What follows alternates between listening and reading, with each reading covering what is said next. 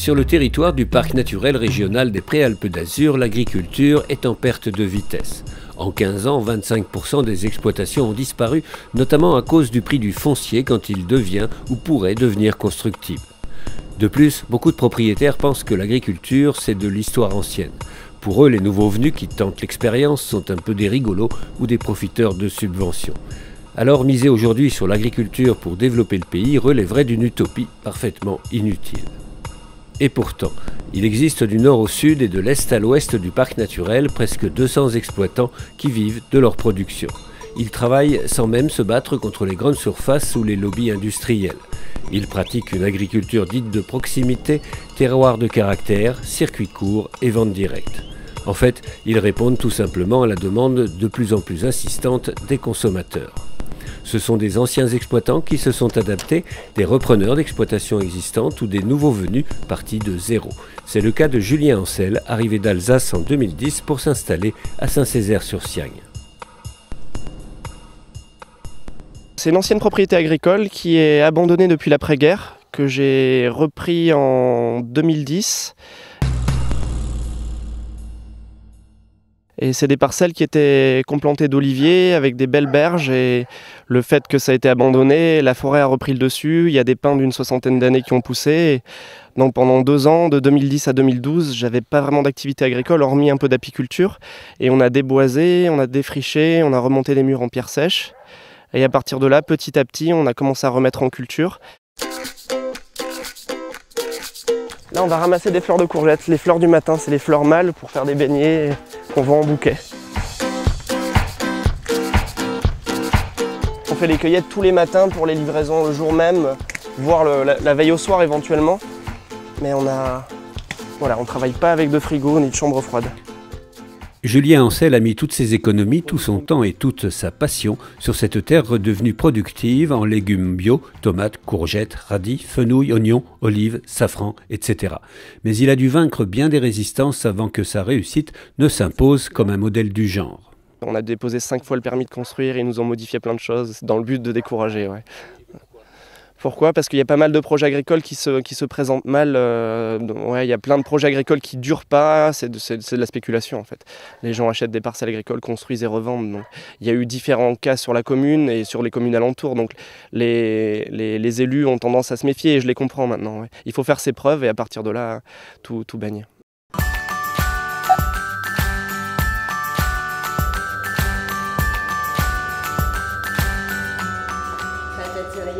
Charles Wirth et Véronique Sontag sont arrivés aussi les mains presque vides à Cologne en 1991. Ils avaient dans la tête des idées de troupeaux de chèvres, de fromage bio et de vie dans la nature.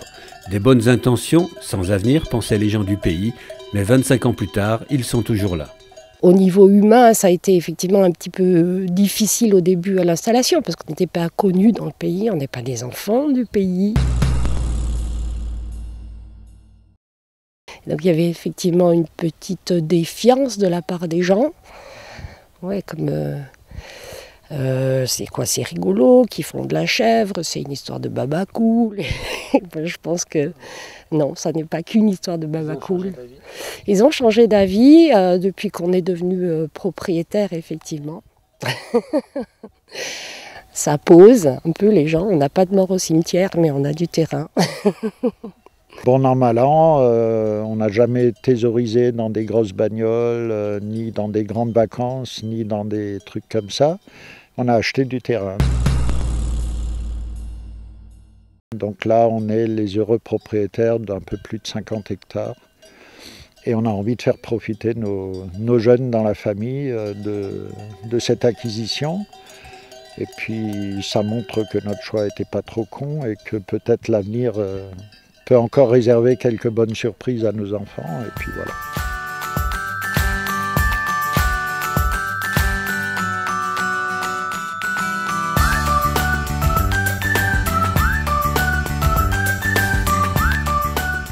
Parmi les repreneurs d'exploitations existantes, on peut rencontrer Johanna Fabre à La Sagne, petit hameau au nord-est de Saint-Auban. Titulaire d'un diplôme d'ingénieur agronome, elle a choisi de reprendre les installations et les pâtures exploitées antérieurement par son père. Avec son compagnon David et Fabry, ils veulent relancer l'élevage de chèvres et de brebis pour la fabrication de fromage bio. C'est leur première année d'activité. En fait, nous, on a fait des longues études tous les deux. Et puis on a pas mal vadrouillé, on a travaillé, enfin on a fait euh, autre chose avant. Puis on avait toujours quand même à l'esprit, euh, on avait envie de, de se poser tous les deux et travailler dans l'agriculture. Donc lui c'était plutôt euh, la partie arboriculture, moi l'élevage. Et puis, euh, puis ben, en fait ça s'est concrétisé ben, en effet quand on a attendu la petite Alba. Et là ben, on était venu, on est revenu du coup ici pour prendre un peu de vacances et réfléchir. Et puis en fait on s'est dit ben, finalement ici il y, a déjà, il y a déjà des terres, il y a déjà, enfin, on connaît le territoire, il y a déjà quelque chose qui est en place. Bon il y a mes parents qui sont là aussi pour nous aider. Donc on s'est dit, bah, finalement, on va tenter le coup ici. De, pouvoir transmettre, c'est rassurant parce que bon, euh, il y a 30 ans, presque 40 ans de travail mmh. sur un territoire et de savoir que ben, ça va continuer, c'est... Moi, c'est ce qui réchauffe un peu le cœur là et c'est pas mal du tout quoi. David Fabry a suivi une formation niveau master en production végétale et horticole. Il débroussaille des prairies abandonnées en y préservant quelques produits originaux et en préparant habilement ses futurs vergers. Mais nous, pendant qu'on travaille la prairie, on valorise tout ce qui est les, les buissons qui sont présents. Donc pour certains, ces buissons, c'est des piquants qui empêchent de passer. Pour nous, c'est une source de fruits, comme euh, par exemple, je prends l'exemple de l'églantier pour certains, ça empêche de passer. Pour nous, ça nous fournit des fruits qu'on transforme en confiture, comme sur les marchés. Et donc, pour le coup, c'est une confiture très demandée. L'aubépine, c'est un autre buisson qui est piquant. Ben, moi, je, moi, je prends tous les, aubépines euh, que je trouve, je les transforme en pommier, en poirier grâce à la greffe. Donc, euh, le secret, à mon avis, c'est de, de transformer un obstacle en opportunité. Voilà.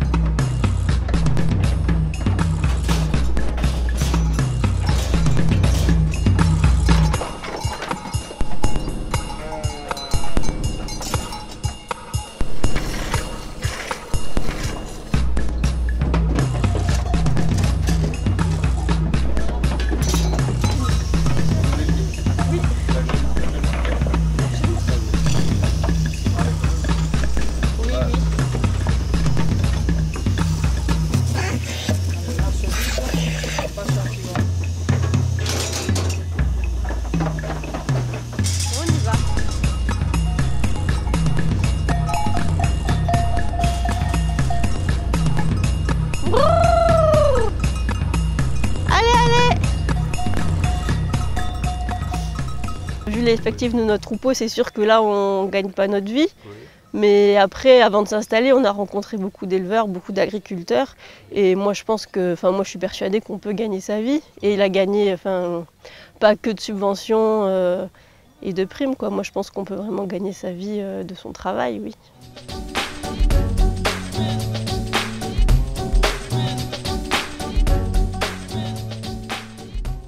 Quelques mètres des brebis de Johanna Fabre, un agriculteur amende sa terre avec du fumier. Il s'appelle Pierre Kofi, il est originaire du Togo. Il fait pourtant presque partie de la famille Fabre puisque c'est avec eux qu'il a appris le maraîchage et c'est à lui que Pierre Fabre a cédé des terres pour y cultiver des légumes bio. Il les exploite depuis 5 ans. Au début, il lui manquait un bout de terrain pour disposer des 2 hectares et demi nécessaires à son implantation en tant que jeune agriculteur, mais il a reçu un petit coup de pouce j'ai fait appel aux populations du village. donc, il y en a qui ont répondu favorablement, mais ça n'a pas été facile. Il y a eu quand même un travail de fond qui a été fait pour les rassurer. donc, ils ont accepté de me prêter leur terrain.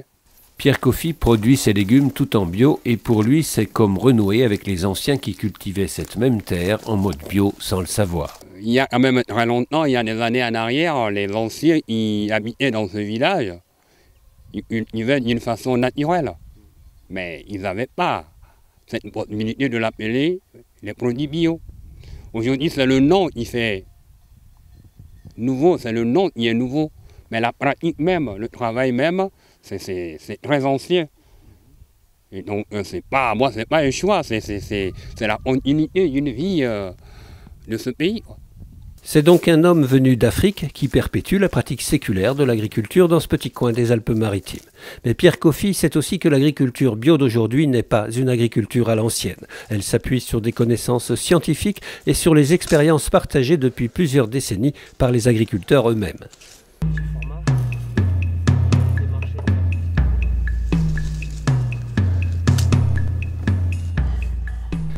À Colombes, les élus locaux ont décidé d'intégrer l'agriculture dans leur projet de territoire. Ils ont donc convaincu la communauté d'Aglo de Grasse de louer 120 hectares de terre à une propriétaire pour les sous-louer à plusieurs exploitants. Adrien Père est de ceux-là. La formule est originale, elle rassure le propriétaire qui ne se soucie plus des éventuels loyers impayés et l'aglo maintient de l'activité dans le haut pays. Avec en prime pour Adrien Père un hangar intercommunal pour stocker toute la variété des légumes qu'il récolte. Vu que je suis quand même un enfant de la vallée, j'ai eu, euh, on m'a aidé justement dans mon installation localement. Après, les, seuls freins où il y a eu pas mal de discussions, c'est au niveau des élus de la communauté d'agglomération de Grasse, qu'il y a des élus de, la cause, enfin, du bac, qui ne comprenaient pas forcément l'utilité de, créer un projet comme ça, de financer quelque chose dans le haut pays. Mais sinon, après, ça, ça c'est en expliquant, les en expliquant, le, et Gabriel Bouillon, le technicien agricole de la CAPG, en expliquant tout ça, il a pu, euh, ça a pu se débloquer.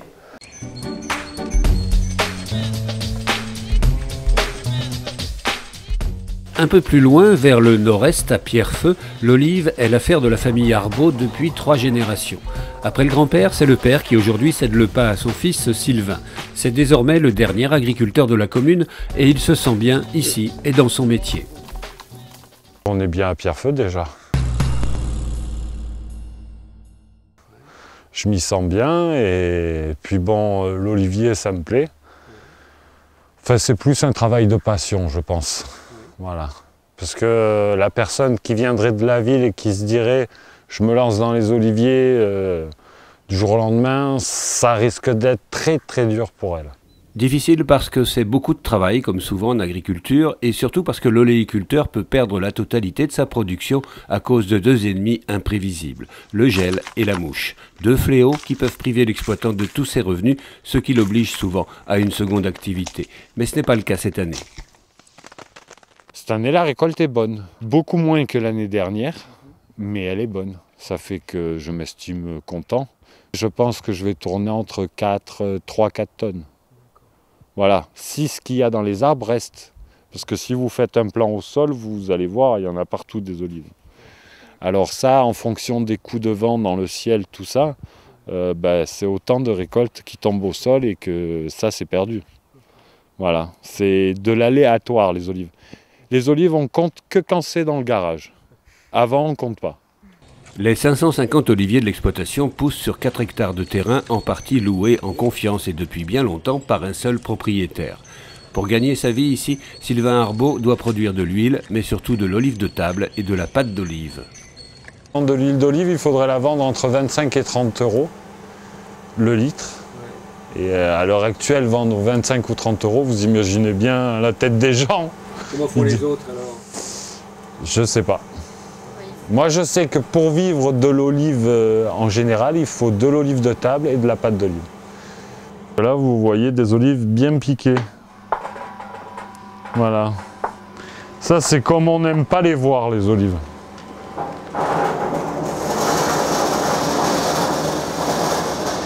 Alors ça, c'est une machine qui ventile les olives et qui nous les calibre.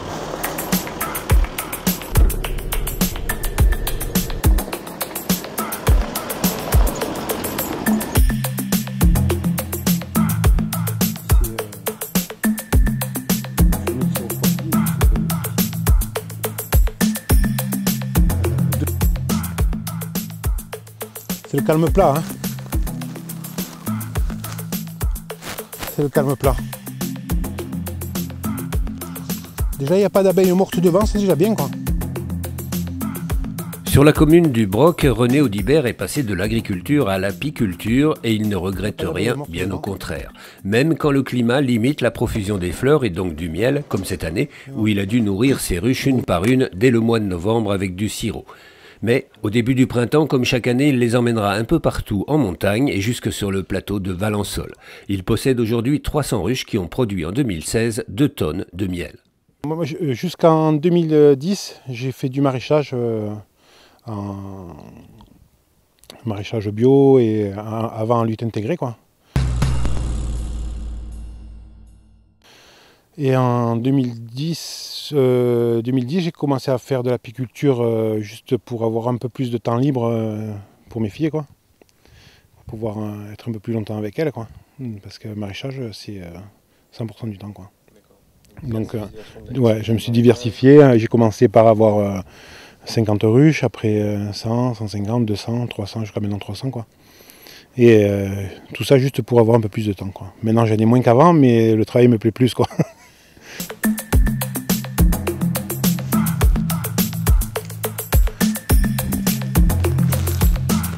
Bon, après, il y en a qui vont vous dire oui, mais c'est artificiel parce que vous mettez du sirop. Voilà, mais bon. Qu'est-ce que vous leur répondez? Ben, Je leur réponds que. On a le choix de laisser mourir les colonies ou de ne pas les laisser mourir, quoi.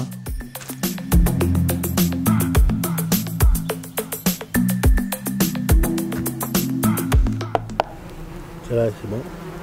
Moi, à partir du mois de mai, je dors. Euh, parce que ça me plaît hein, aussi, hein, parce que je suis obligé, mais je dors au moins 4 euh, nuits par semaine euh, en montagne à côté des ruchers. Quoi. Comme ça, ça m'évite de redescendre sur, à la maison. Je reste. donc je passe d'un rucher à l'autre, ça me va très bien. Quoi. Mais c'est. c'est pas tout le monde qui fait ça, hein, c'est moi. Mais juste parce que ça me plaît. Quoi.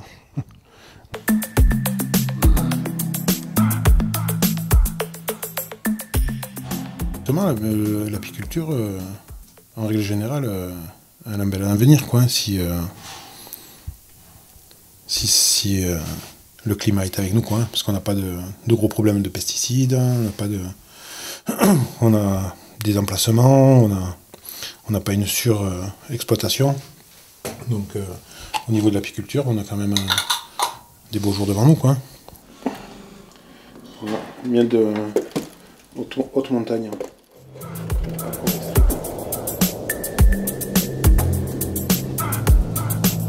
La main de mes lèvres, on n'arrive pas à l'extraire, mais super bon. Un goût d'amande.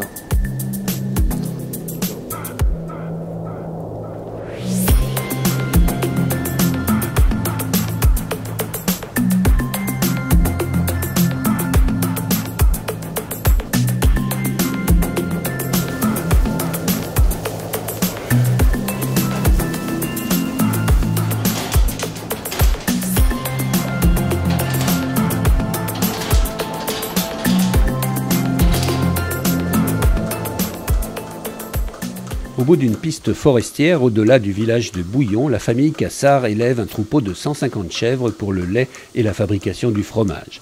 Avec ses bâtiments récents, ses équipements modernes et 240 hectares de parcours, l'exploitation est issue d'une reconversion de viande caprine vers le lait. Un peu à cause du loup et beaucoup pour le fils qui prend la succession. J'ai eu trop d'attaques, donc j'ai décidé de vendre mon troupeau pour basculer en caprin lait pour faire du fromage. Parce que mon fils euh, commençait à grandir et commençait à me dire Papa, je voudrais travailler avec toi, ça me plairait de faire du fromage. Donc en fait, j'ai un peu devancé l'installation de mon fils, on va dire un peu à cause du loup. Et du coup, je me suis lancé euh, dans l'investissement de la fromagerie, du bâtiment qu'il y a derrière nous.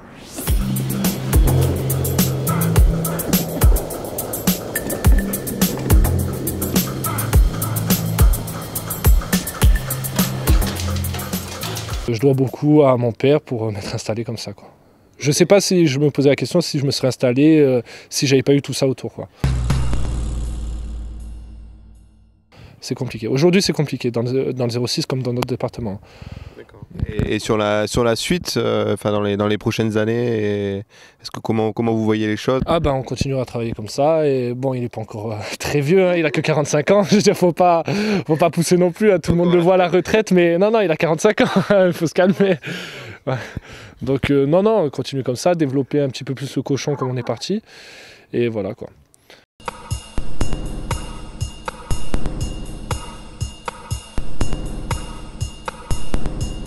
À l'inverse de ces exploitations à petite échelle, on trouve dans la plaine de Torrent la famille Varonne. Le père, la mère et les trois garçons sont à la tête d'une entreprise qui produit 20 tonnes de viande et quelques 100 000 litres de lait chaque année, sans compter le fromage, le fourrage, le bois et la basse-cour.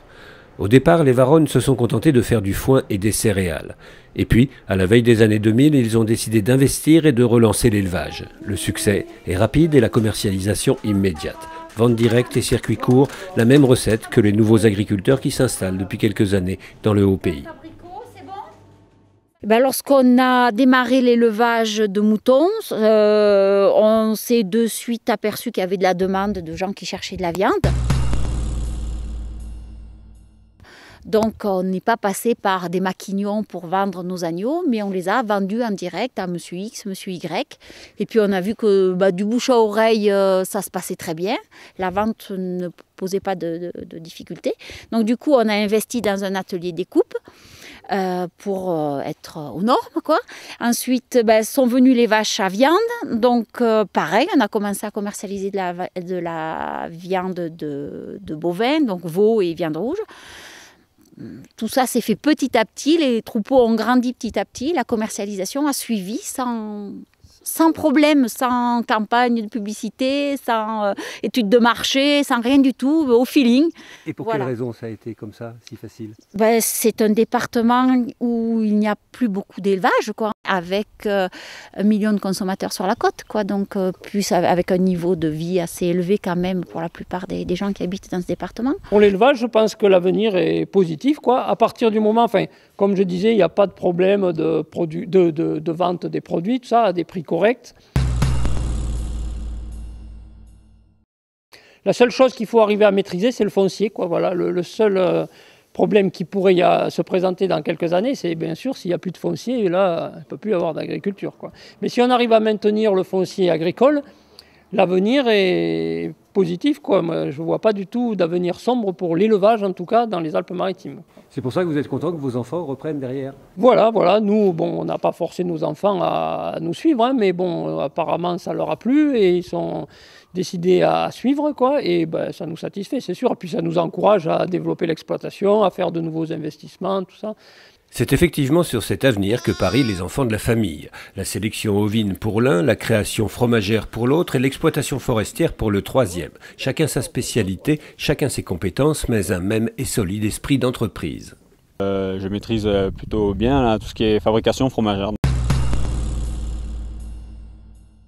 Donc, euh, depuis que j'ai fini mes études, on a développé pas mal de sortes de fromages différents sur la fromagerie. Et c'est moi qui m'occupe en général surtout de la fromagerie, des différents fromages. euh, euh, on a fait des yaourts, plein de produits qu'on a développés qu'on ne faisait pas avant. Le, donc le fromage, ça me plaît, mais tout le reste aussi, s'occuper des vaches, les vaches laitières, la génétique. Après mon BTS, j'ai fait aussi une formation d'inséminateur, donc j'insémine les vaches, parce qu'on n'a plus d'inséminateur maintenant ici. Et euh, donc euh, voilà, après, après ça me passionnait aussi tout ça, ça c'était, c'est une passion, quoi, ça me plaît, donc euh, voilà. Le Benjamin, lui, s'occupe des moutons depuis l'âge de 13 ans, avec aujourd'hui une compétence particulière en sélection génétique, pour laquelle il a d'ailleurs reçu déjà un premier prix sur la race préalpe. Avec le travail de sélection, maintenant on a, enfin, on a des brebis qui produisent plus, donc on a des agnelles 4 fois en 3 ans. Du coup elles font plus d'un agneau par an. Et on augmente un petit peu le troupeau, mais dans les limites du raisonnable, pour, euh, surtout pour, par rapport aux loups. Parce que bon, nous on est plus éleveurs que bergers, quoi, donc aucun de nous a la passion de, de garder les moutons, et du coup elles sont que en clôture électrique, quoi, dans des filets. Et donc ça restreint un peu là, sur les surfaces à pâturer. L'agriculture est donc toujours possible sur le territoire du parc naturel. Entrepreneurs audacieux ou tenant d'un retour à la terre plus paysan, les exploitants ont en commun un précieux territoire sans industrie ni agriculture intensive polluante. Par ailleurs, ils peuvent bénéficier de technologies modernes et de financements qui vont jusqu'à 50% pour des investissements et des productions ciblées. L'époque n'est plus à la fourche et à la brouette, c'est ce qui peut séduire les jeunes en mal d'avenir et c'est ce qu'a déjà bien compris la famille Varonne. On ne s'est pas privé des opportunités qui nous étaient offertes, des, aides. Quoi. Et on, a, on en use. C'est vrai, tout ce qui peut nous aider, euh, on essaie de, bénéficier. C'est ce qui nous a permis de, rester une exploitation qui est assez moderne et donc qui, a permis à nos enfants de ne pas être dégoûtés ou euh, parce que voilà parce qu'on a du matériel qu'on renouvelle. Donc un gamin qui a ado ou qui a 10 ans, euh, le tracteur, ça plaît. Donc euh, on a su les, les, les, intéresser par, par le côté un peu moderne du travail. Nos troupeaux sont gérés par des logiciels de gestion. Donc donc bah, à cet âge-là, euh, voilà, ils ont 20 ans, pour eux ça ne leur pose pas de problème. Euh, c'est des outils modernes qui permettent de, bah, qui peuvent aussi attirer des jeunes.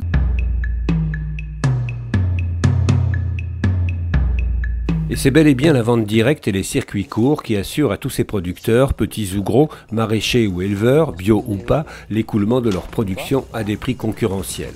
Ici, dans les Alpes-Maritimes, chacun dispose de son réseau qui évolue en fonction des productions. Le marché du bio, par exemple, a progressé de 15% en 2015 et les taux de croissance les plus élevés ont été enregistrés en vente directe et dans les magasins spécialisés bio.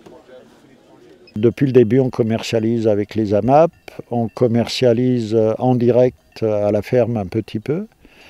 On a un marché au Pali euh, le samedi matin. Et autrement, euh, ben, quand il y a la grande production à partir de mai, euh, là on commercialise quand même dans des magasins bio. Moi je commercialise beaucoup en demi-gros dans les, dans les petits marchés, proxy et des, revendeurs quoi, qui m'achètent le miel pour revendre dans leur magasin. Quoi. Surtout en vente directe en fait, on vend beaucoup sur les marchés, on fait beaucoup de foires.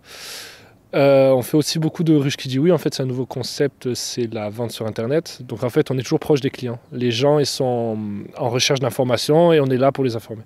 On va dire qu'on vend 80% directement aux clients et le 20% à des petites épiceries et encore. Quand on vend, on a vraiment un, circuit court. C'est un seul revendeur et ça suffit. Quoi.